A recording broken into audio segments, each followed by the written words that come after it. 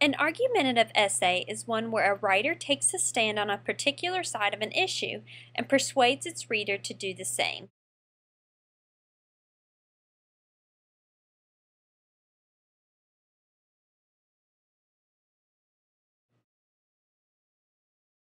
An informative essay is just like what it sounds. It is used to inform or educate its reader on a particular topic.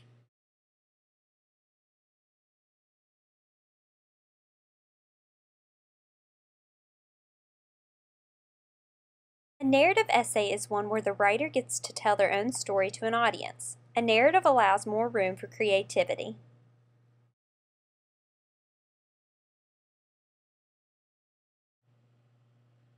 Why do we write?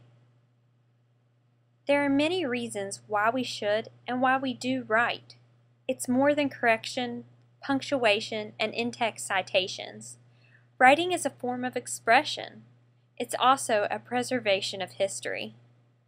Without some of the famous writers whose pictures are coming onto the screen, we may not understand or see the world in the ways that we do today. From argumentative essays, we see the passions behind a person's heart and actions.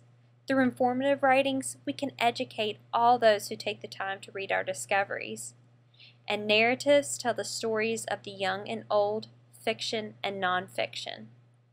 So the question should be, why wouldn't we write?